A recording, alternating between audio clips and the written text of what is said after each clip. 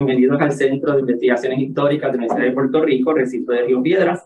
Eh, en la mañana de hoy tenemos con nosotros al profesor José, Juan, eh, perdón, Juan José Valdrich, quien nos estará ofreciendo su conferencia sobre su más reciente libro, Smoker eh, Beyond the Sea, The Story of Puerto Rican Tobacco. Eh, a nombre del Centro Histórico de la Universidad de Puerto Rico, bienvenidos a todas y a todos. Ahora quizás dejar un momentito con el director del departamento, el doctor Marcelo Casio Meléndez, para la bienvenida eh, formal. Profesor.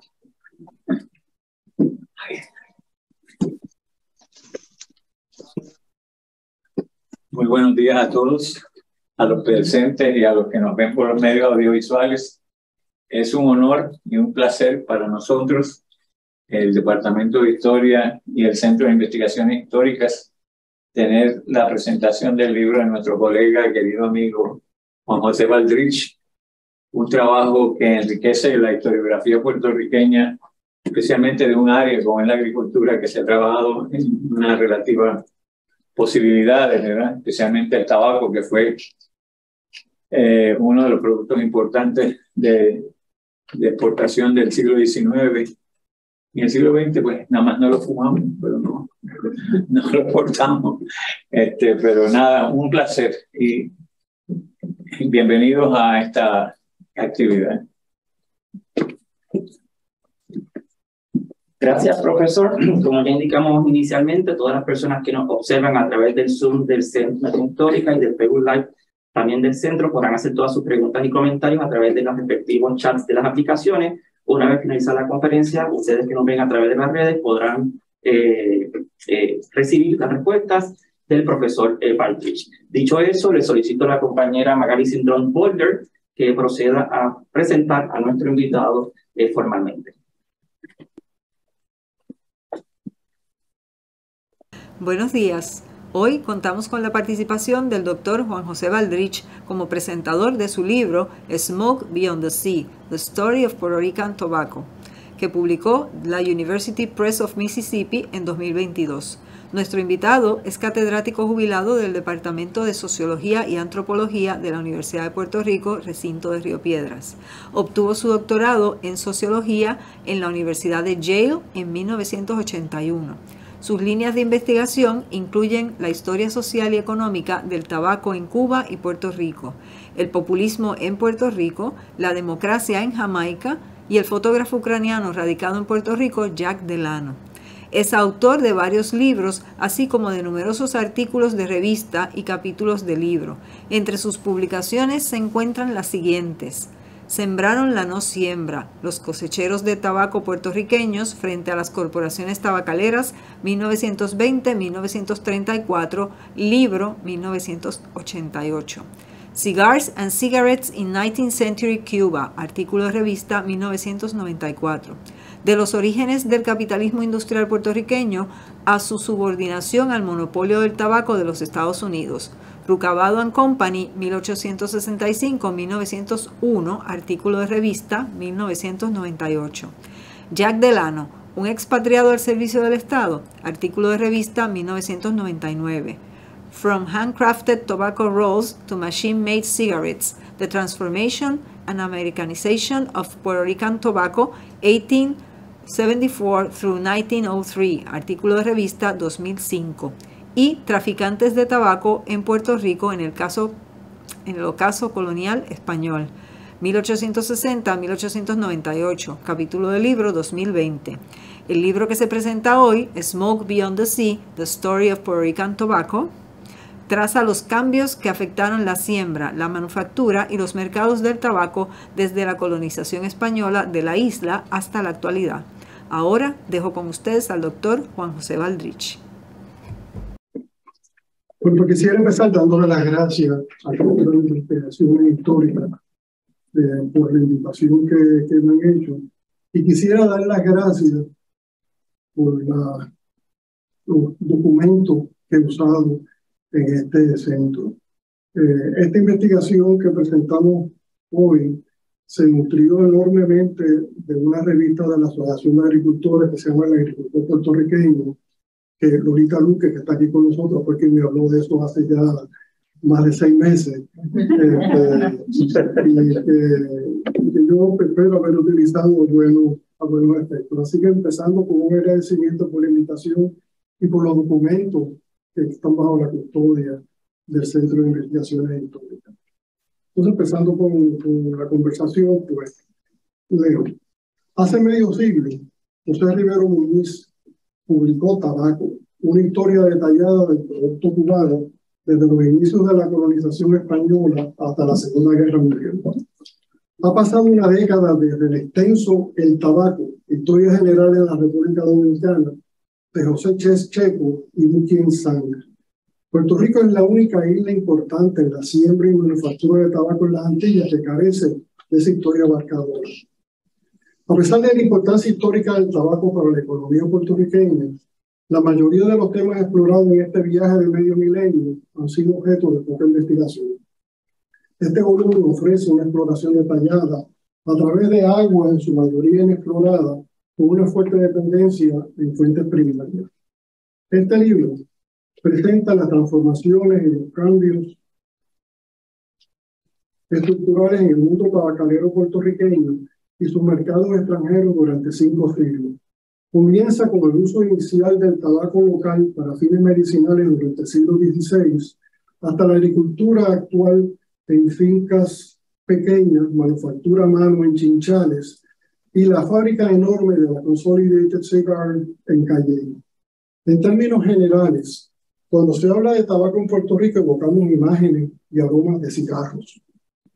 Este libro dedica mucho espacio a estos, sin embargo, la presentación de hoy no resume los cinco siglos que cubre el libro, sino que privilegia el periodo poco, conocido de antes de que el cigarro se convirtiera en la forma dominante de consumir, exportar y fabricar el tabaco.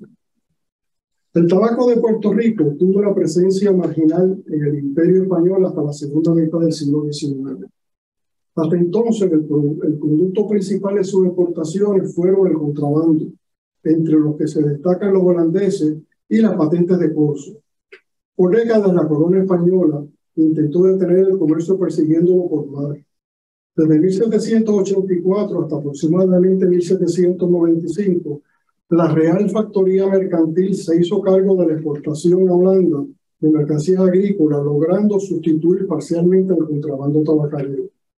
Este continuó siendo el vehículo principal de los exportadores de la rama hasta poco después de la cédula de gracia de 1815 que estableció el libre comercio.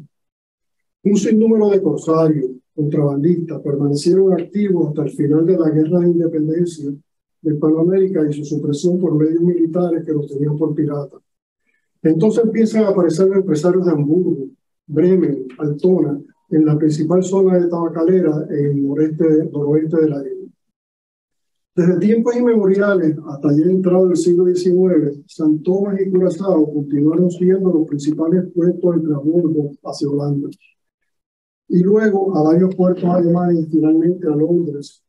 Aprovechando la libertad de comercio, los comerciantes entre los alemanes ampliaron el financiamiento de la siembra, la cosecha, la venta de tabaco a través de contratos de refacción, también corriente en el Caribe hispánico y en el sur de los Estados Unidos.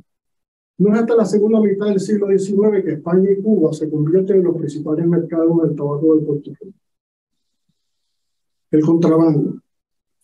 Desde su inicio en 1636, el monopolio español privilegió el tabaco cubano y más tarde de Virginia y el de Brasil, haciendo poco uso de la rama puertorriqueña o de otros dominios del imperio.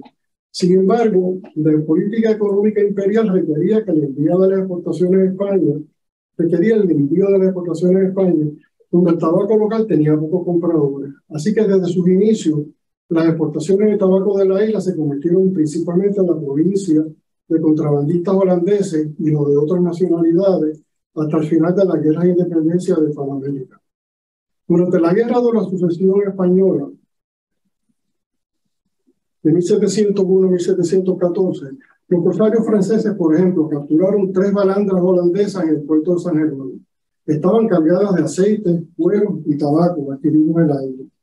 Además, los españoles intentaron frenar el contrabando mediante la concesión de cartas de marca que autorizaban la captura tanto de los buques enemigos como los que se dedicaban al tráfico ilegal. Siguiendo esta práctica, Miguel Enríquez, y fue un emprendedor zapatero birracial, nacido y criado en San Juan, ingresó al oficio para navegar el Caribe durante el principio del siglo XVIII. Por ejemplo, en febrero de 1705, un bergantín y una balandra suya capturaron una balandra de 10 cañones frente a la costa sur de la isla. El barco, como muchos otros, transportaba tabaco, cuero, achiote y conchas. Enrique se convirtió en un próspero comerciante que invirtió algunas de sus ganancias en actividades marinas, en más barcos y en un ingenio azucarero con 58 trabajadores esclavizados. Manteniendo la práctica de las últimas décadas del siglo, los corsarios al servicio de la Real Compañía Guipuzcoana de Caracas zarpaban regularmente en viajes de dos meses a través del Caribe Oriental, navegando tan al norte como a las aguas puertorriqueñas, donde con frecuencia capturaban barcos armados cargados de tabaco y otros productos tropicales. Por ejemplo, en la década de 1770, Manuel Antonio de Urtezabel, al mando de la balandra Nuestra Señora de Aranzazú y la Borbón, intervinieron 15 embarcaciones en un solo viaje. Urtezabel y sus hombres capturaron cinco barcos en, la, próximo a las aguas puertorriqueñas, contra la Jamaica, una balandra inglesa, el León, un bergantín danés, y el Águila, una balandra danesa, transportaban tabaco, entre otros productos. En el extremo europeo del contrabando, sin embargo, se encontraban algunas empresas con buena reputación. Por ejemplo, antes de su liquidación en 1783, la firma cortó Lacoste y Pascal recibía cargamentos en Ámsterdam donde algunos de sus buques transportaban contrabando originado en las Antillas, en el Caribe hispano. Irónicamente, la firma también sirvió como proveedor de la Armada Española. Basta decir que en las últimas décadas del siglo XVIII, la población local consumía una pequeña porción de la cosecha, mientras que el grueso terminaba en el extranjero a través del contrabando con poco espacio en los mercados españoles.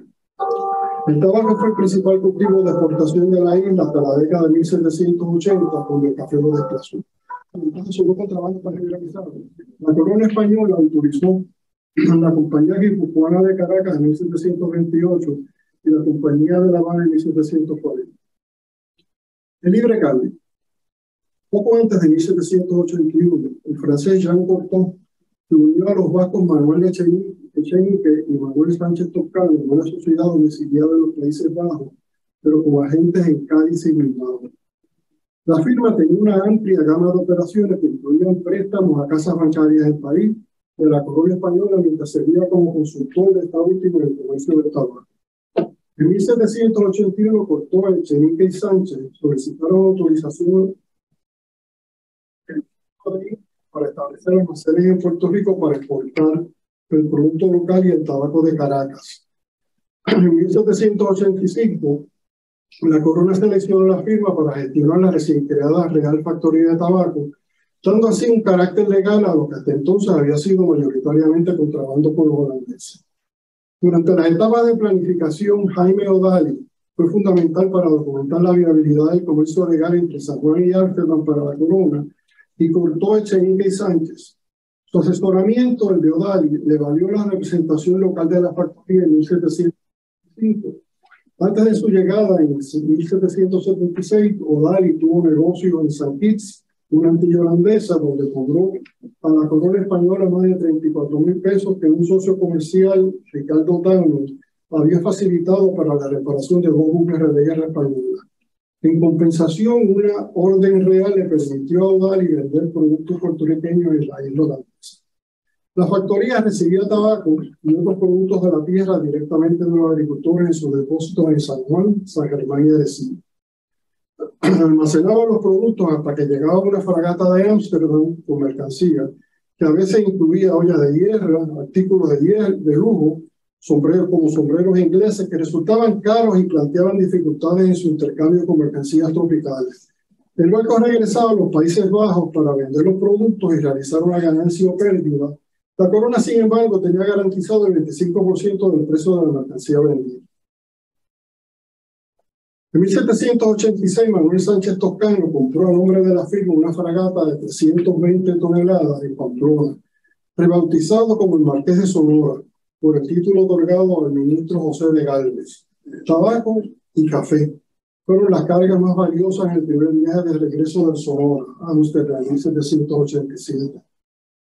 Con el tiempo, el tabaco se convirtió en el producto más valioso enviado, pero las exportaciones de café demostraron ser más rentables, ya que el tabaco contribuyó con solo el 9% de las ganancias entre 1787 y 1790.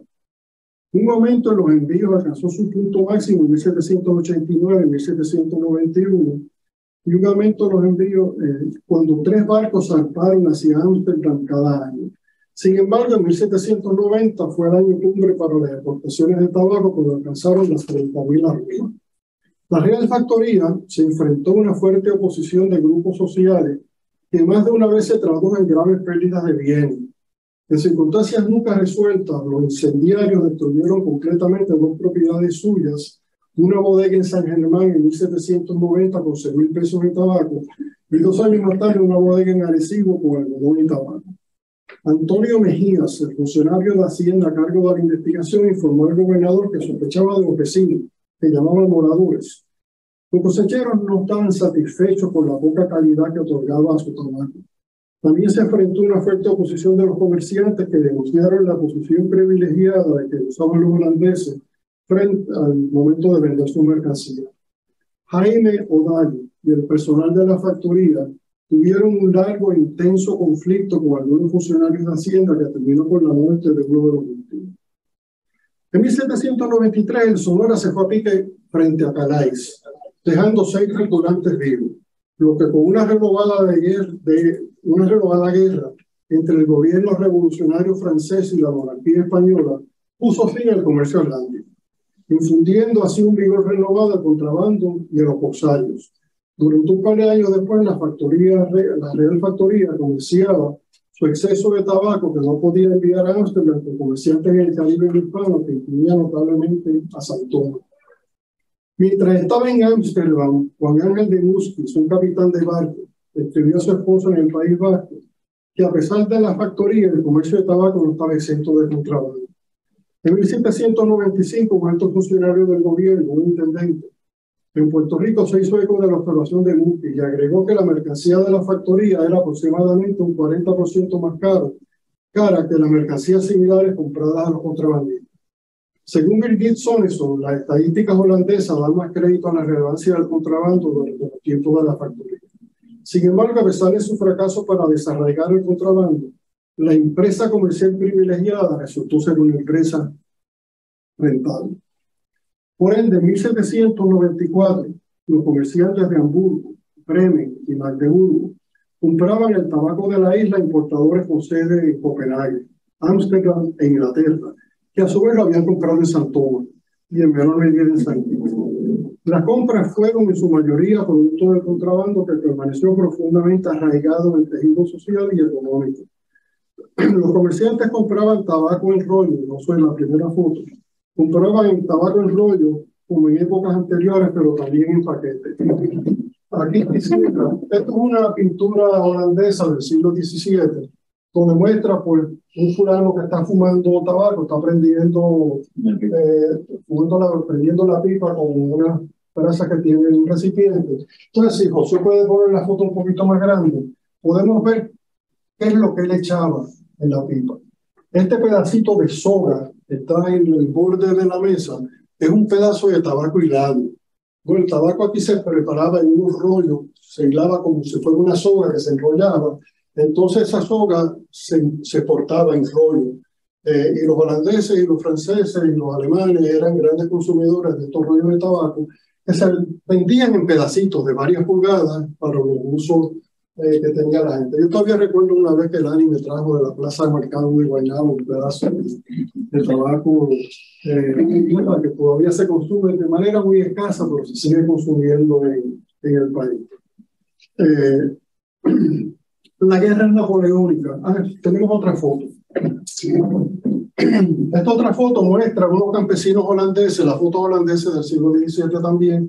Y se puede poner más grande la, la foto este, vemos que el campesino está sujetando un pedazo de la soga del tabaco hilado, este, lo, con el cuchillo lo, lo va granulando, lo hace picadura, entonces con eso se lo ponen a, eh, a la pipa, ¿no? Este, así que ese era el método, uno de los más corrientes de exportación de tabaco puertorriqueño en forma de tabaco. When exactly did it, when exactly did it hit me that I had fallen in love with my literal best friend? Lo es que el tabaco puertorriqueño y el puertorriqueño so, lo masca. No lo troza en picadura para prender pipa. O sea, la manera de consumir el tabaco varía dependiendo de quién es el que lo, eh, quién, quién es el que lo consume.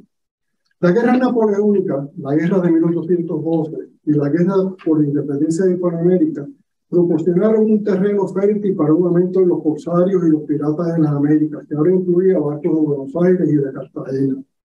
Tras la restauración de la paz durante la década de 1820, las potencias marítimas fuertes de la región, como Estados Unidos, trataron de suprimir la piratería y lo que quedaba de los corsarios con un despliegue de cinco goletas especialmente diseñadas para navegar de ceñida.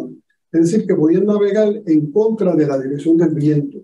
Este, que parece que es una cosa muy difícil. Yo de vela no sé nada, este, pero estos veleros tenían esa característica. Los intereses extranjeros y la paz internacional, por importante que fueran, no fueron las únicas influencias para el fin del corsario y el contrabando. Las remesas conocidas como el situado del Virreinato de Nueva España, que durante mucho tiempo habían subsidiado el gobierno colonial, terminaron con la independencia de México.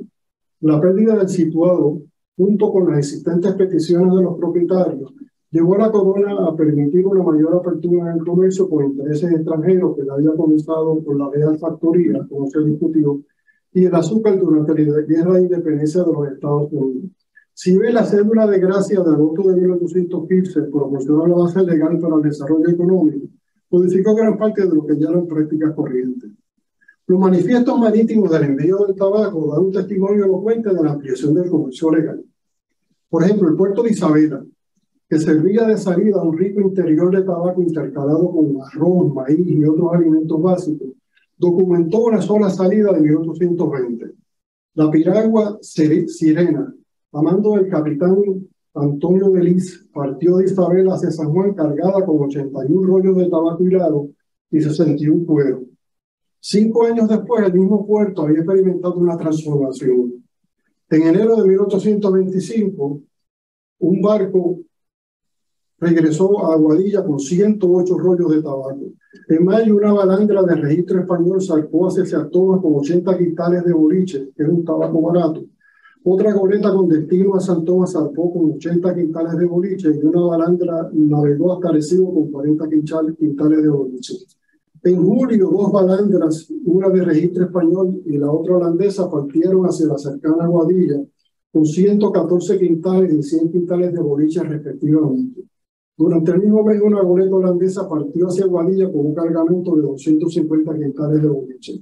En agosto, dos balandras zarparon de Aguadilla, regresando al mismo puerto con 1.058 y 1.834 rollos de trabajo. Así que hay una transformación en el comercio legal. En consonancia con los envíos de Isabela, Antonio Viscovich de Cabo Rojo zarpó para Curazao en tres ocasiones en un breve lapso de tiempo durante 1825. En abril su barco llevaba provisiones. su regreso en mayo zarpó de nuevo el 4 de junio con un cargamento de tabaco y el 26 de junio con productos agrícolas. A pesar de la legalidad del comercio y de que el tabaco era para consumo europeo, los puertos de escala San Tomás y en menor medida la holandesa y la de Curazao permanecieron en el Caribe como la del contrabando. Los primeros años de la década de 1820 fueron testigos de un notable aumento de los corsarios y piratas. En Puerto Rico dependía de pequeños veleros, a menudo armados con menos de media docena de cañones, con notables excepciones, como el Panchita, un mercantil que llevaba 16 cañones y una tripulación de 120. Un ejemplo de esta situación tuvo lugar a finales de octubre de 1823, cuando el famoso Roberto Confresí navegaba por el canal de la Mona cerca de la isla de Secheo a bordo de una goleta de 10 toneladas. Por eso si pueden poner la próxima así. Este, esto es una goleta de 8 toneladas, así que es un poquito más pequeña que la que usaba eh, ofrecí. Yo no sé de cosas marítimas, pero sé lo suficiente que las goletas tenían por lo menos dos palos este, y tenían hasta tres palos. Si tenían menos de un palo, era una balanza. Este, Si se fijan en los costados, el babor y el tribol de la goleta está bastante cerca del mar, así que no hay mucho espacio para colocar cañones. Eh, lo que quiere decir entonces que la, la goleta de Roberto Cofresí estaba armada con un solo cañón, este, un cañón giratorio. ¿no? Entonces, mi, mi, noción de los piratas es Pirates of the Caribbean. ¿no? Entonces uno se imagina un barco que a babor y a tribol tiene por lo menos seis otros cañones. ¿no? Entonces imaginarse a Roberto Cofresí una goleta con un cañón giratorio es llama la atención, ¿no? A mí me, me resultó chocante, pero es notable que usaban veleros eh, pequeños. Así que eh, Roberto Cofresí se topó con la goleta John de 86 toneladas, bastante más grande que, que la, de, la de Cofresí, que transportaba provisiones, tabaco, alquitrán a Mayagüez, un puerto en la costa oeste, armados con mosquetes y cuchillos. Ofrecí sus hombres abordaron el John, probaron la mercancía, incluyendo a la vela mayor y la redonda, y después del del asalto Daniel Knight, el capitán de John, ancló en Mayagüez para denunciar y buscar remedio a su situación. Una fuerte reacción de las potencias neutrales que consideraban que los corsarios eran piratas hacia el final de la guerra de independencia hispanoamericana llevó a las autoridades españolas a comenzar la revocación de las cartas de marca y el recondicionamiento de los mismos buques como barcos mercantes. Sin embargo, ya desprovista de la protección legal como corsarios, varios recurrieron a la piratería absoluta. Para 1832, al final de la piratería, los corsarios y el eclipse del contrabando, San Tomás siguió siendo el principal puerto de partida para el tabaco con destino a Hamburgo. Sin embargo, en anticipación del futuro, Mayagüez y Aguadilla ya tenían comerciantes nacidos en el extranjero con fuertes lazos comerciantes en Altona, Hamburgo y Bremen. Por ejemplo, en 1849 Norman Hess, un comerciante de Altona, compró tabaco directamente en Ponce. Durante la década de 1850, otros comerciantes de Altona compraron tabaco y por primera vez cigarros. Gustav Adolf Schroeder y sus socios comerciales conocieron otro ejemplo de la presencia de comerciantes extranjeros entre los exportadores. Al llegar en 1824 a la isla, fundó Schroeder y compañía con Francisco Quevedo, comerciante hacendado de Isabela, y Karl Schroeder, alemán residente en Guadalupe. La asociación, según Virgil Sorensen, originalmente se especializó en exportaciones de café y tabaco y tenía corresponsales en Hamburgo, entre ellos familiares como Christian Matías Schroeder. En 1842, Karl Reichert se convirtió en socio y dirigió la recién inaugurada sucursal de Mayagüez original en Aguadilla. Para 1840 la firma era el principal contribuyente en Aguadilla y en 1853 empató a Francisco Salvador y compañía por el primer lugar. El hermano Wilhelm dirigió la sucursal de Mayagüez hasta finales de, los años 1840 y 50. En consonancia con la tendencia de desarrollo, la asociación no tenía sucursales conocidas en San. La firma se disolvió y vendió sus activos en 1858. Schroeder y compañía parece haber sido el principal negocio de la familia Schroeder en la isla. Por otro lado, Gustav Adolf Schroeder se unió a varias sociedades de capitalización y duración desiguales. Anteriormente, en 1825, él, un danés y otro alemán establecieron una empresa comercial de corta duración también en Aguadillo. En la década de 1830, la firma Schroeder y Custer se convirtieron en mayoristas y financiaron la fusión agrícola en la zona. En la misma década, Gustav Adolf y su hermano Wilhelm establecieron Schroeder hermanos. Dado que algunos miembros de la familia Schroeder poseían líneas navieras en Hamburgo y Bremen, no es casualidad que la corbeta Wilhelm Schroeder, que la corbeta Wilhelm Schroeder navegara entre Aguadilla y Mayagüez Sport y Boston principios de la década de 1840. Desafortunadamente, solo uno de los cinco viajes examinados identifica la carga, que consistía en provisiones, madera, cuando sacó de Aguadilla a Mayagüez el 2 de enero del 41. El buque también navegó de Aguadilla a Newburyport en 1841 y de Mayagüez a Boston en ese mismo año. Ninguno de los dos puertos de Massachusetts tenían importadores conocidos de tabaco local pero estaba en el extremo receptor del azúcar, el otro pilar de las empresas de esta familia. En 1848, Wilhelm Schroeder, esta vez identificado como una barca de Bremen, había estado comprando tabaco a lo largo de la costa del norte cuando se hundió frente a la costa de Manatí. Como en épocas anteriores, el tabaco local dejó su huella en los mercados europeos. Alrededor de 1841, entre el 7.2 y el 8.1% del tabaco, tabaco fabricado en Magdeburgo y el Gran Ducado de Brunswick, que lo que va a ser Alemania, se originó en Puerto Rico. A partir de 1845, el Reino Unido se convirtió en un factor importante en el tabaco local, pero sus compras exhibieron variaciones considerables del año los comerciantes londinenses enviaron una parte sustancial de sus compras a fabricantes alemanes. La profundización del libre comercio tuvo consecuencias que marcaron tendencia en el comercio del tabaco. Los puertos de San Tomás, y Curazao perdieron su dominio y tuvieron que competir con el envío directo a puertos europeos como Altona, Bremen, Hamburgo y Londres. Hasta la segunda mitad del siglo XIX, el tabaco local nunca fue un factor importante en los mercados españoles. Mediados del siglo XIX. A pesar de los enormes cambios en la apertura de los mercados coloniales al comercio exterior, la siembra y el cultivo de tabaco no había cambiado mucho. George Flinter, un observador agudo que pasó algún tiempo en la isla en la década de 1830, sostuvo que los cosecheros todavía dedicaban alrededor de un cuarto a medio acre en sus tierras al cultivo de tabaco. Aunque Flinter no da detalles, para todos los efectos podría haber estado describiendo Antonio Agustín, que en 1851 poseía 13 cuerdas en el barrio Saltarribo de Utuado, donde cultivaba, cultivaba alimentos básicos de la agricultura de subsistencia, como dos cuerdas de plátano, una de maíz, media de café, tres cuartas divididas en partes iguales de batata, ñames y malanga. Y Agustín hombre libre que había nacido en África, también mantuvo una siembra pequeña de tabaco y también cultivó un poco de caña de azúcar. El tabaco posiblemente satisfacía las necesidades del hogar, pero podía haber sido fuente de efectivo. Seis cuerdas eran de maleza. También tenía un caballo, una vaca y dos terneros en dos cuerdas de pasto, donde sobre el caballo y el ternero eran de su propiedad. Mientras David Stark documentó un uso limitado de la mano de obra esclava en la agricultura tabacalera, Flinter, en contraste, sostuvo inequívocamente que era un cultivo de gente libre.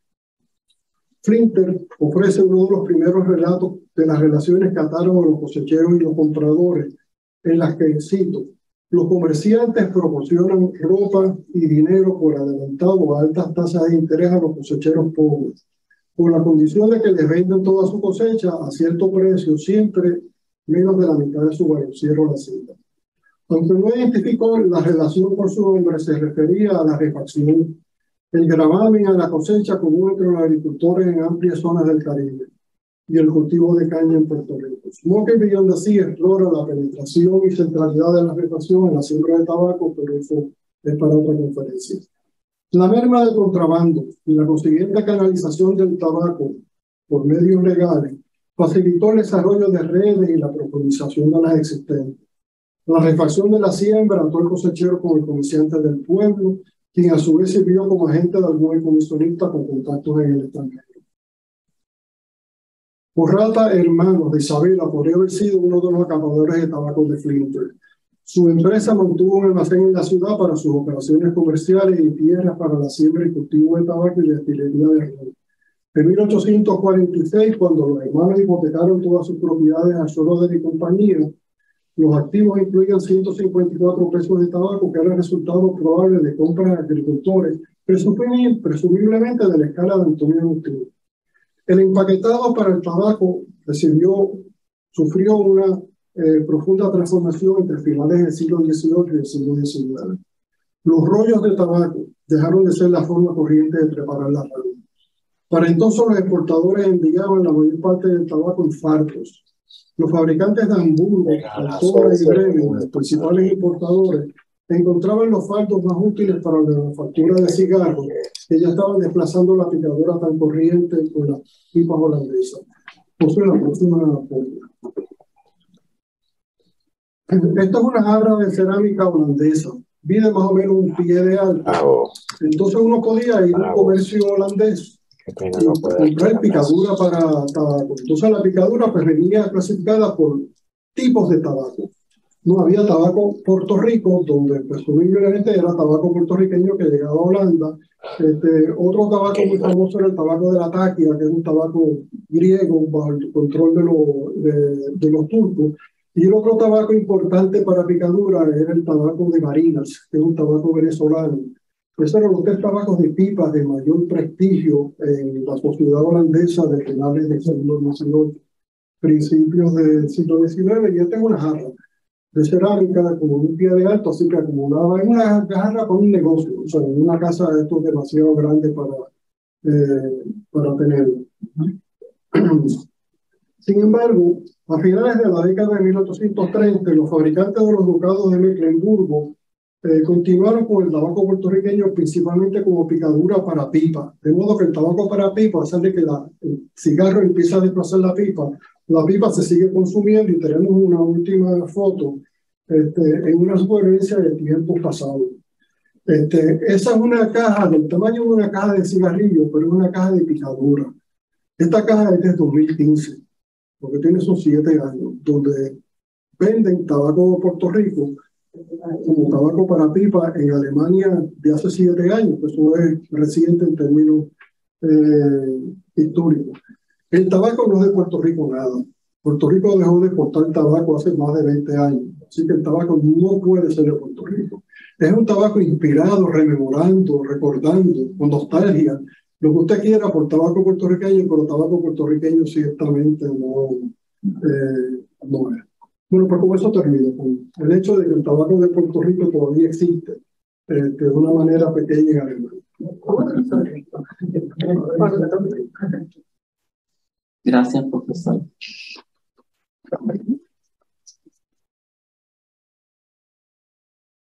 Abrimos a preguntas del público. Si alguien tiene alguna pregunta. Profesor. quizá más que pregunta, eh, curiosidades el, yo leí con, bueno, no he terminado el libro, ¿no? tengo casi como tres cuartas partes del libro leído con cuidado. Eh, por años he tenido una interrogante sobre la relación que podía tener el proceso de electrificación en Puerto Rico, finales del siglo XIX, principios del siglo XX, con el auge o la sí, la, la, producción acelerada eh, de cigarrillos. Y entonces la, la parte mecánica de esos procesos, como usted describe, pues se usaban inicialmente máquinas de vapor, pero no vi referencia en su libro sobre el proceso de electrificación. Y entonces es una, una coincidencia geográfica que las instalaciones de procesamiento grandes que usted describe en el libro ocurrían en Puerta de Tierra Obviamente está la facilidad portuaria, pero el proceso de electrificación, especialmente de la iluminación de vías públicas y luego la electrificación de los, de los trenes, eh, ocurre en ese espacio geográfico. Así que eso es una inquietud. No sé si hay relación directa en términos de los empresarios y el capital, eh, etcétera, o, o, eran circunstancias que corrían independientes. Pero para 1908 se, empieza, se construyen las primeras dos represas grandes en, el río de la Plata en Comerío. Y pues, por una inquietud quizá técnica ambiental, eh, esas represas eh, tenían una alta tasa de sedimentación y de hecho ya para la década de 1920 ya no podían producir electricidad. Y entonces siempre he pensado que por un lado la deforestación y la en la ampliación de la siembra en la parte alta de la cuenca de la Plata, en Calle, en Araquita, en Bonito, etcétera, pudo haber contribuido a esas tasas de sedimentación incremental en el río y un poco comprometer la posibilidad de electrificación que a la larga sostenía la actividad industrial. Para cerrar el comentario, para 1929, la empresa canadiense norteamericana que operaba esas instalaciones decide mover la producción de electricidad a Río Blanco y, construye la hidroeléctrica en Río Blanco para cubrir la demanda de energía de San Juan a Cagua. Y nunca he leído que asocien esas intervenciones tecnológicas con la actividad productiva, en este caso del tabaco y su, su potencial de, exportación. Quería ver si usted ha estudiado o encontró en su amplia referencia alguna, algún dato que dé una pista que yo pueda hay, hay, alguna evidencia, este, o sea, la producción de, ya en la segunda mitad del 19, eh, empiezan a surgir las primeras fábricas de cigarros y de cigarrillos, la de cigarrillos más bien a finales del 19. Eh, hasta ese entonces los cigarros se hacían a mano, así que realmente no hacía falta la electrificación, pues se podía aprovechar la luz solar. Eh, para eso los cigarrillos hasta 1897 se hacían a mano. Eh, también, así creo que, había que hacer era laborarlo durante el día. Este, no se necesitaba maquinaria. El primer uso de maquinaria eh, que yo tengo noticia es maquinaria para preparar la picadura de cigarrillo. Este, entonces se usaba el vapor. Eso a finales del siglo XIX.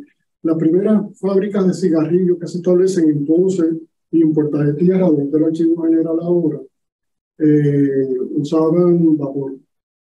Eh, vapor. Se establecen, no, en Puerta de Tierra, no, en el viejo San Juan este, la colectiva usan maquinaria de, de, vapor y uno ve las fotos donde se ve el eje y la descripción dice que tiene máquina de vapor, incluso hay pequeñas descripciones de en qué consiste la máquina de, de, vapor.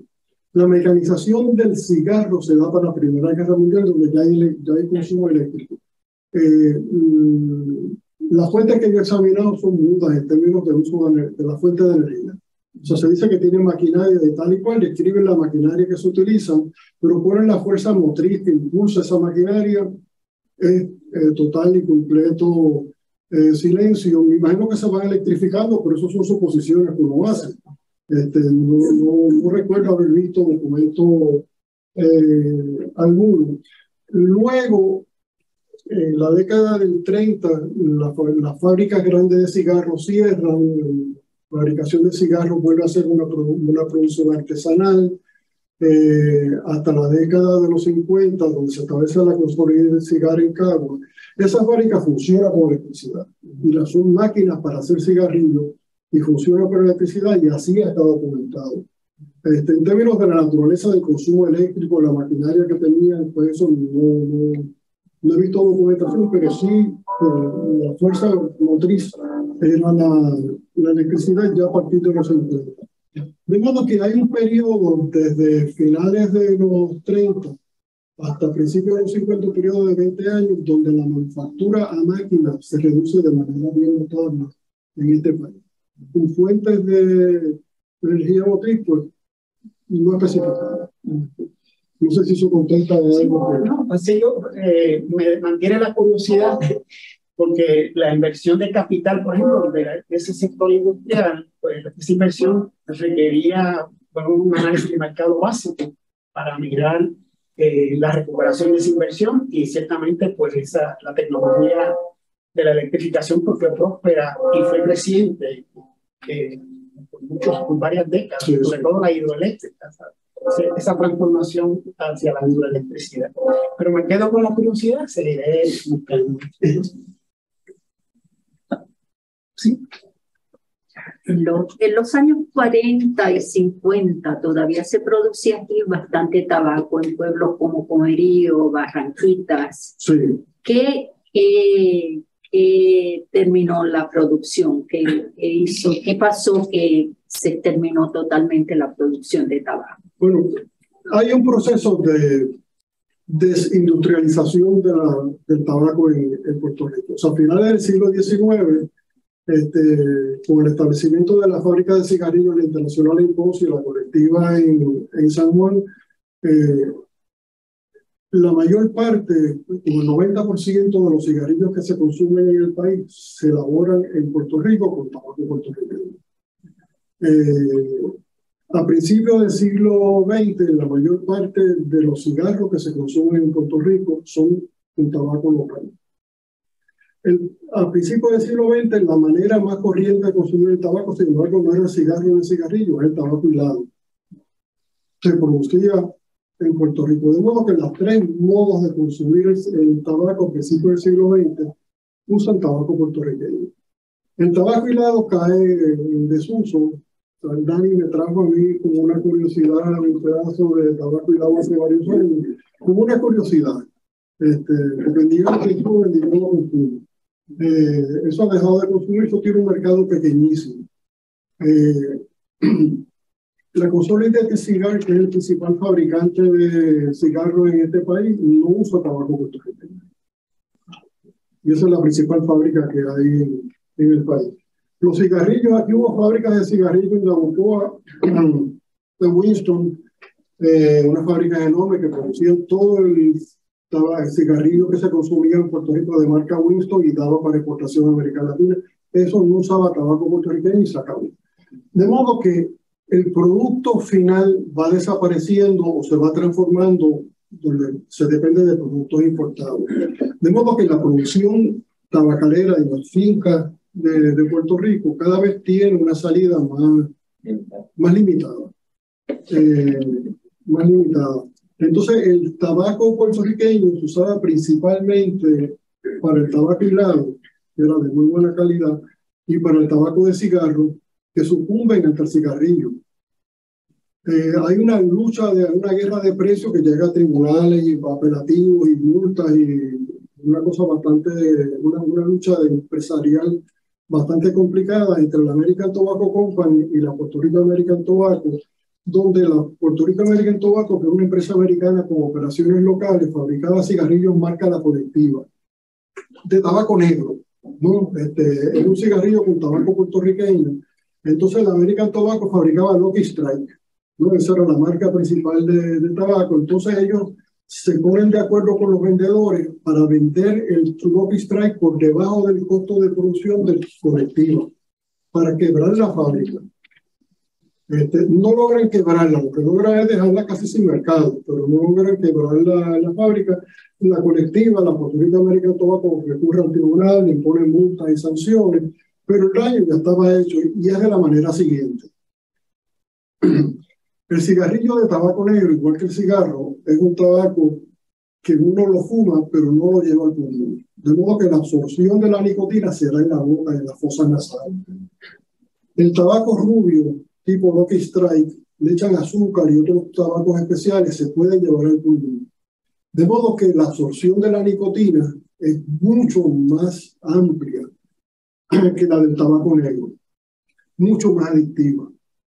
Este, de modo que el beneficio de la droga se obtiene de manera más intensa con el tabaco rubio que con el tabaco negro. Este, y después que uno se torna un adicto al tabaco rubio ir al tabaco negro es dar marcha atrás, porque es un producto que es altamente adictiva, tanto su fase de tabaco negro como su fase de tabaco rubio, pero el rubio es mucho más, eh, mucho más adictiva. que ustedes que han fumado saben lo difícil que es dejar de, de fumar. Yo me entre ellos. Yo he dejado de fumar como 20 veces en mi vida, este, porque no es fácil. No, no es fácil.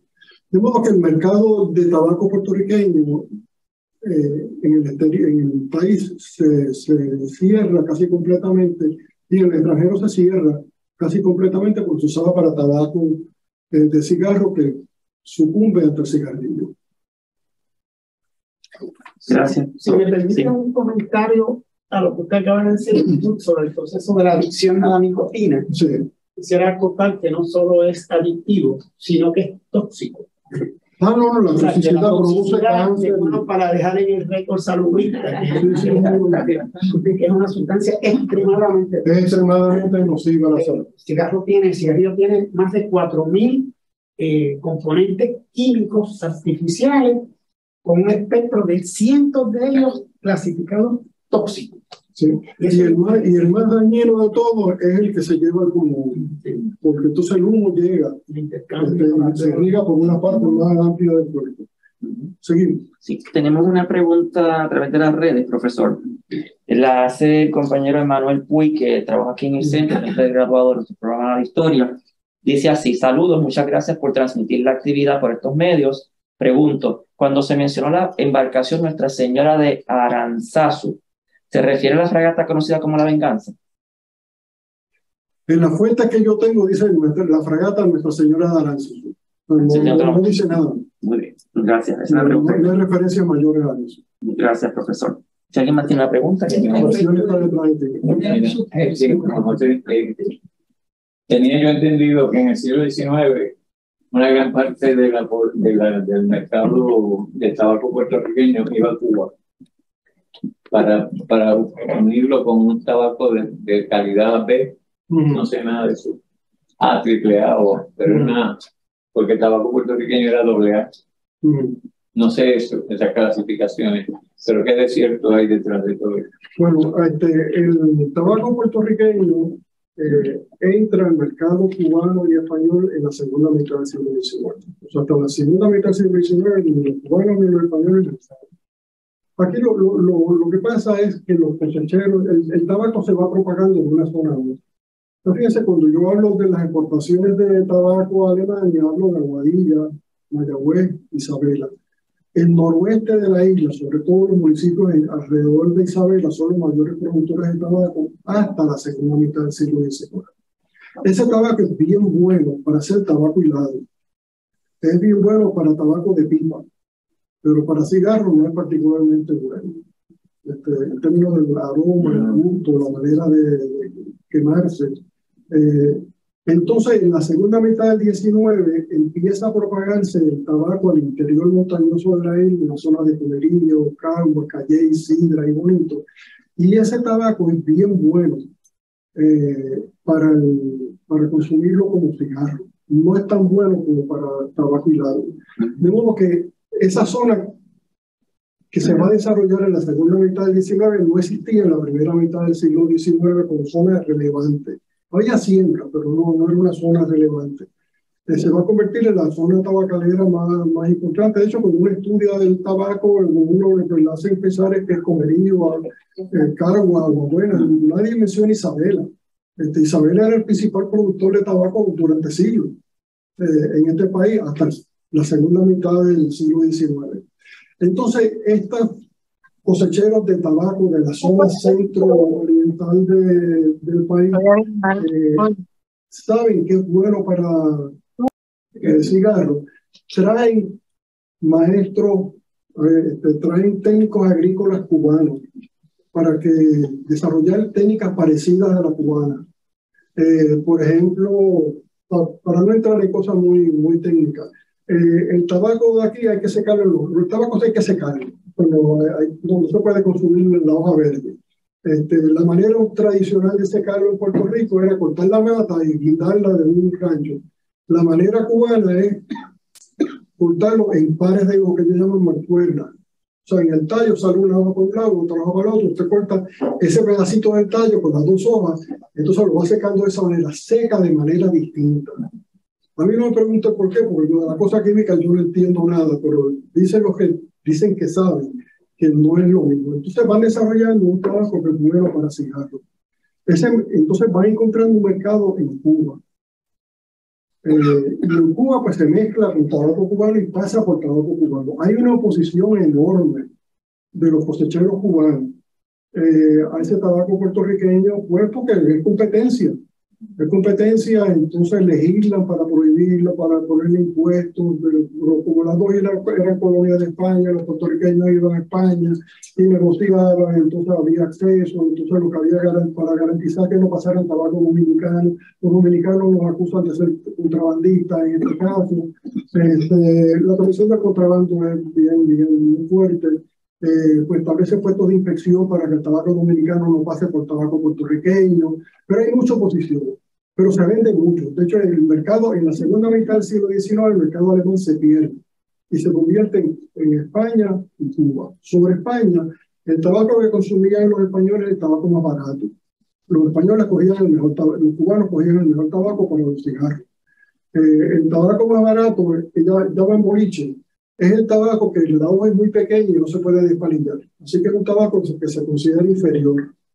Eh, y eso es bueno para hacerlo picadura y consumir los cigarrillos. Entonces los, los lo consumían en cigarrillos. Eh, y una buena parte, una parte sustancial de la cosecha de tabaco iba a parar a España para consumirse como cigarrillo y iba a Cuba para consumirse como cigarro. Eran dos mercados bien diferenciados eh, para el mismo tabaco. Muy bien. ¿Hay otra pregunta? Sí. Ah, dos asuntitos siempre espero que me despertaron curiosidad. Tiene, tiene que ver con eh, el, el, entorno cultural en, en, que se consumía esa picadura, porque no sabía, ¿verdad?, que eh, hasta si, esos primeros tres siglos de los... Estoy muy bien. Dos asuntos que me, que me, que me interesaron, de lo, que me, me despertaron curiosidad. Tiene que ver con el consumo del tabaco puertorriqueño en Holanda, en esos primeros tres libros. Eh, y no sé si en esa amplia investigación que hiciste pudiste eh, conocer un poco del contexto cultural en que se consumía ese tabaco y cómo eh, en esa zona se va desarrollando ese gusto por el tabaco puertorriqueño. Esa sería la primera. Y el segundo asunto es esa ahí que exhibiste, que me pareció interesantísima. ¿Tú la tienes o eso es una, una foto? Es mía, yo tengo una. Entonces, eh, ok, es fantástico, porque quería saber de qué periodo es. No sé. Porque mira, la, mira cómo representan es como una figura que, que parecería esclava, ¿verdad? Sí, y acá como un hombre blanco, rubio. Es una mujer. Pero ¿dónde tú conseguiste eso? Una plantación. Estoy fascinado. ¿Dónde tú conseguiste eso? Este, pues yo quisiera decir un sitio así bien glamoroso, Ajá. eBay. Pero porque vamos no dice nada, no tiene ninguna marca. Ah.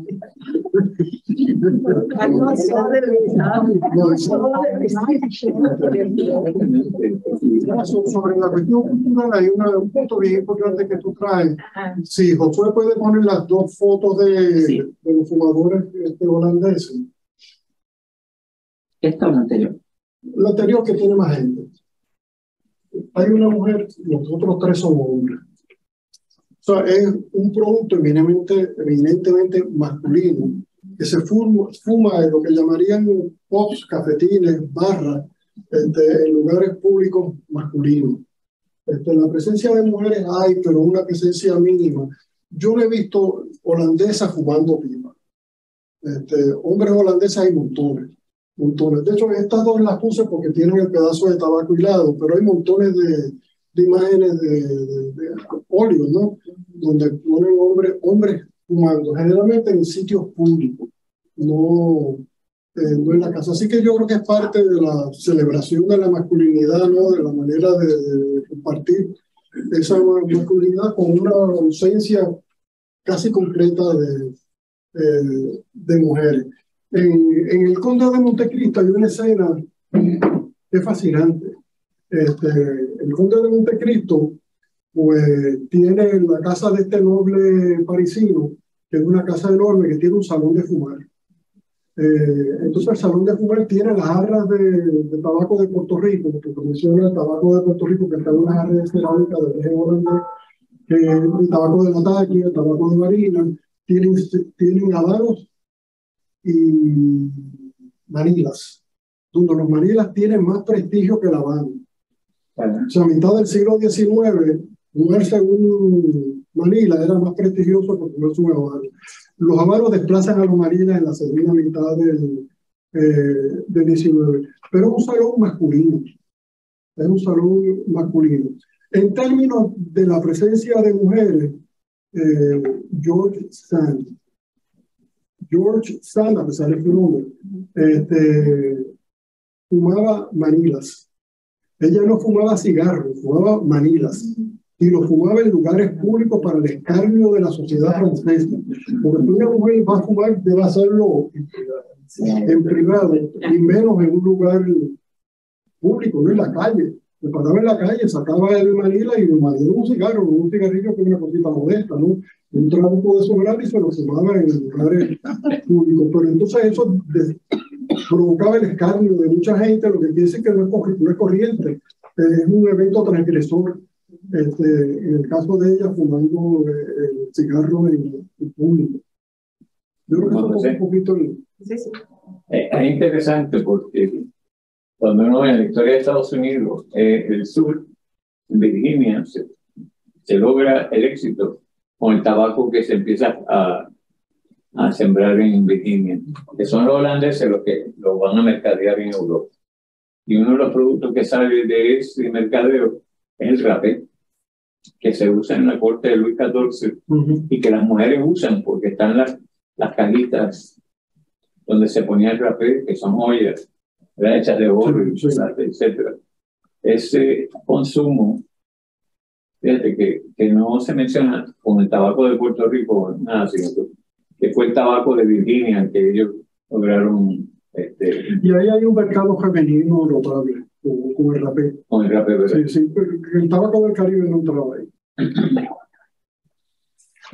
El rapé se usaba para meterse en la nariz y estornudar. Sí, esa era parte de la aristocracia. Tenemos una pregunta de la profesora Silvia Álvarez Culvero a través del Zoom. Tenemos dos. En primer lugar es un comentario para felicitarlo. Eh, felicidades Juan José. En 1985-86 recibí de la Asociación de Agricultores la colección de la revista de la Asociación de Agricultores que sirvió de base a mi tesis de maestría La Patria Agrícola. Se gestionó su donación al CIH y a la colección puertorriqueña. Me da mucha alegría que tu trabajo sobre los tabacaleros haya encontrado una de sus bases documentales en dicha colección. Y el segundo comentario que ella hace es si puede abundar sobre el estanco del tabaco y el expediente en contra de Jaime O'Daly. Este, el agricultor puertorriqueño es una revista de una utilidad extraordinaria que está aquí en el, en el Centro de Investigaciones Sociales y yo lo utilicé para el libro mío de Sembrar la Siembra, para este libro. Eh, también es una fuente una, valiosísima, valiosísima porque es casi el día a día, con noticias de, de la agricultura eh, puertorriqueña. Sobre Jaime O'Dali, la Real Factoría, que se establece en 1785, eh, los españoles lo que hacen es que le dan a esta empresa holandesa de Cortó, la Cortó, Echenique y Toscano eh, el monopolio para la venta de tabaco puertorriqueño en Holanda que es el único sitio donde se podía vender el tabaco puertorriqueño. Nunca había otro monopolio para venderlo en Francia o Alemania, era para los holandeses nada más. Eso está, entonces hay un pleito enorme eh, entre el, un intendente de Hacienda y la Real Factoría que termina con un muerto, como mencioné. Eh, hay dos trabajos que ahora no tengo la referencia aquí a la mano, hay una tesis de maestría, que después se la puedo, puedo pasar la referencia a Silvia, una tesis de maestría del programa de, Victoria eh, sobre la Real Factoría. Y hay un trabajo de Ana Crespo Solana, una historiadora eh, sevillana, eh, para la revista Itinerario sobre la misma empresa que bregan ambos con el conflicto un conflicto que se tornó violento en términos de muertos, un conflicto en los tribunales que duró bastante, eh, bastante tiempo, fue bastante caliente.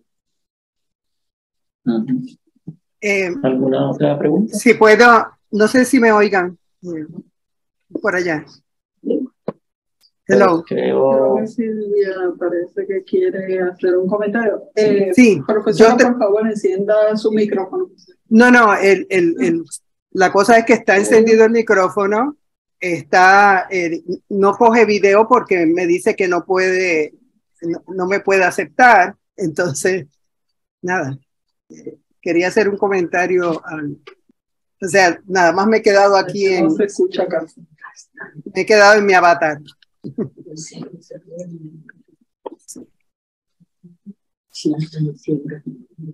¿No? pues que lo ponga por escrito y se lo pasamos a los. ¿No? En lo que es, en que la cosa eh, escribe. Vamos, se me queda unable to, eh, bueno, mandar el comentario de alguna otra manera porque no, no me permite eh, eh, decir, comenzar el to start video porque el, el host eh, lo impide. Un poco pone lo que la profesora resuelve. Pues tengo una, una, foto de un rollo de tabaco en el que Silvia puede comunicarse. Ay, perdón. Esta es una foto de los 50 de, que salió del periódico El Mundo. Esto es un rollo. Aquí se ve la soga. Se puso desarrollando. Entonces se vendía por pulgada. Este, en épocas anteriores se vendía por cuarta, porque la gente no tenía reglas, así que la medida era lo que es una cuarta, claro, las cuartas varían de tamaño dependiendo de la mano del que mida, ¿no? Eh, Pero entonces, esta era la manera de exportarlo. Esa soga se iba preparando en un rollo, entonces los rollos se exportaban, eran las unidades de exportación. Eh, el, el, rollo. Esa foto del 50 es la única foto de un rollo de tabaco puertorriqueño que yo conseguí. ¿Hasta cuándo se mantuvo esa forma de prepararlo? ¿Perdón? Esa forma, ¿hasta cuándo se mantuvo en Puerto Rico? Hasta el día de hoy. Todavía se hace así. Es la manera de hacerlo. Lo que pasa es que los rollos de ahora son más pequeños porque el consumo es más reducido. ¿Todavía se vende para marcar? Todavía se vende, sí, sí. El lugar de la fotografía, no se sabe. ¿Perdón? El lugar donde se La foto de San Sebastián. De San Sebastián. Sí, entonces, es un mercado muy informal. Si se fijan, hay un carro aquí atrás. Así que este hombre lo que hace es que saca una mesa. Sí. De alguna manera llega, saca una mesa, la pone en un espacio abierto. Entonces, esto no, no es un tobacco shop, ni un sitio muy elegante, ni, ni muy fino, ¿no? Es una mesa, este, eh, saca el rollo, eh, tiene una vara para medir y vende el tabaco allí al que quiera un par de pulgadas de, de tabaco. La, la foto de Luis de Casenave y la tomaron en el en los 50, está en la colección del mundo. Sí. Es la única foto de un rollo de tabaco. Tengo rollo de tabaco jamaiquino, dominicano, pero de Puerto Rico es la única foto que he visto. Bueno, pues sí, te... ah. Pudiera hacer un comentario para, relacionado a, a la pregunta de la profesora Baelga. El, el, el, lado de la, el libro, su libro fortalece grandemente todo el proceso de la, de la, de la oferta del producto. La parte de, de, de, mercado, de la demanda, pues esta otra dimensión que probablemente entra en la parte cultural. Mi entendimiento, que puede ser, que probablemente es especulativo, es que la, la, la nicotina como alcaloide, los efectos físicos sobre el sistema eh, cardiovascular, en alguna forma puede ser parcialmente antagónico a los efectos de, de, del etanol o del alcohol, del consumo de alcohol. O sea, la persona que consume mucho alcohol entra en una etapa de adormecimiento, de letargo, y la, la nicotina es un estimulante. Por eso no podía hacer una asociación entre el bebedor y el fumador. Eh, ambos componentes son adictivos, eh, pero juegan un proceso bioquímico eh, curioso que debe ser explorado. Yo no trabajé algo de toxicología siete años como químico y tenía un rollo, siempre tengo un problema histórico con, con la nicotina como sustancia y sobre todo con las empresas que trafican con esa sustancia, que todavía trafican de forma este, ilegal. Eh, yo decía de, de hace 50 años que la, el ácido nicotínico de un solo cigarrillo, si se concentraba y se inyectaba a un caballo de 700 kilogramos, lo mataba fulminantemente. Y un poco ese, ese concepto lo usábamos para propiciar alguna educación a los jóvenes, para que no se iniciaran en el consumo de cigarrillos, porque una vez que se iniciaran, técnicamente se iba a ser un adicto muy difícil de, de curar y con todos los problemas de salud asociados, salud pública y salud clínica que ese consumo trae. Pero para lo que le puedo hacer, entonces, quizá la mirada cultural habría que, una manera de explorarla sería ver esas relaciones de la, del consumo, el acceso y consumo al alcohol con sus variantes, y entonces el cigarrillo como un complemento que quizás eso explica el boom que tuvo después del siglo XIX eh, ese mercado. También yo creo que el hecho de Hollywood, que, que, que, los artistas que no sabían qué hacer con su mano se ponían un cigarrillo y encontraban ocupación para sus manos mientras proyectaban o, o hacían algún trabajo. O sea, que se veía como sexy, como era lo, la última moda, ese tipo de cosas también le dio mucha... Sí, desde 1927 las empresas tabacaleras norteamericanas invirtieron millones de dólares en las empresas de Hollywood. A todas las grandes las subsidiaban desde la construcción de, los, de las, las instalaciones para la producción artística el subsidio por contrato a artistas famosos para que utilizaran cigarrillos en las filmaciones. Los terceros planos de las convenciones siempre aparecían fumando. y eran contratos para esos propósitos, multimillonarios dólares de hace 80 años. Es una práctica comercializada está en ese lado de la parte oscura de la, del reino del tabaco y otras. Es curioso porque al principio de la colonización española, los españoles usaban el tabaco como medicina. Sí. Entonces, los científicos europeos examinaban las propiedades del tabaco para curar cuanto más había, ¿no? Y entre experimentos y situaciones donde se recomendaba el uso del tabaco. Pero ya a finales del siglo XIX y el siglo XX, la profesión médica está consciente del no de la magnitud del daño, pero de qué hace daño. Entonces las empresas tabacaleras empiezan a contratar médicos que garantizan que este tipo de cigarrillo en particular, porque en la preparación del cigarrillo intervienen tales y cuales factores que lo hace agradable al, a la garganta, eh, al paladar, y entonces no producen irritación. Como si hubiesen unos cigarrillos más saludables que yo. Entonces contratan ese tipo de declaraciones. Eso ya lo que hacen, ¿no? Bueno, como dicen los abogados,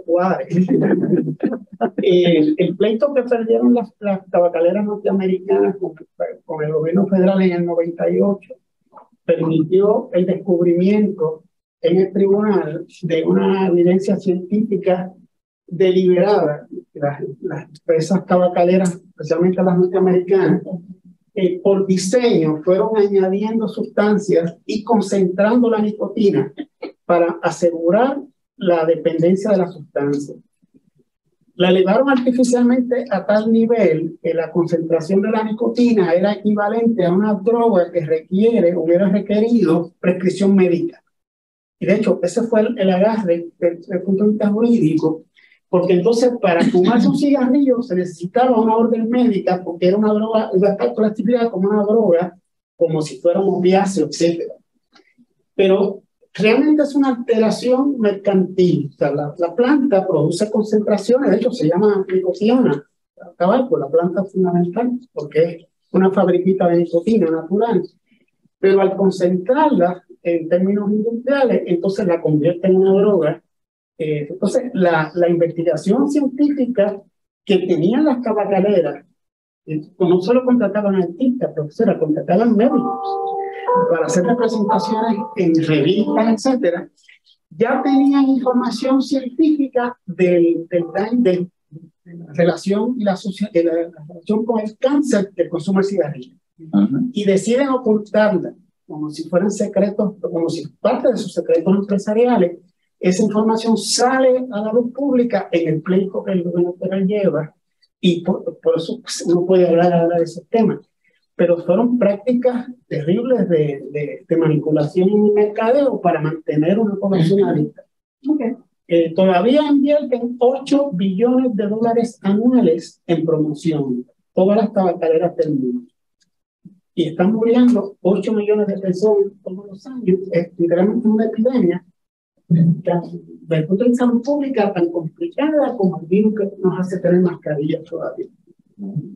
Bueno, yo no vine a hablar de eso, porque es que el profesor me provocó Pues si hay alguna pregunta adicional, ¿no? Pues eh, para culminar entonces le damos muchísimas gracias al profesor eh, Juan José Valdrich por su excelente presentación, por el conversatorio que ha generado en torno a su libro Smoker Beyond de Sí, de Historia de Puerto Rico en Tobago. Eh, está disponible a través de, profesor, Amazon. Amazon. Se consigue en Amazon, Noble y la misma editorial. Y la misma editorial, exacto. Entonces, pues nada, con esto finalizamos. Eh, profesor, si quiere decir algo. No, no, agradecemos la presencia del doctor Fuentes y de este libro que abre, amplía nuestro conocimiento de la, historiografía puertorriqueña de, de, un producto que es importante. Vimos una vasija nueva que no teníamos conocíamos. pues muchísimas gracias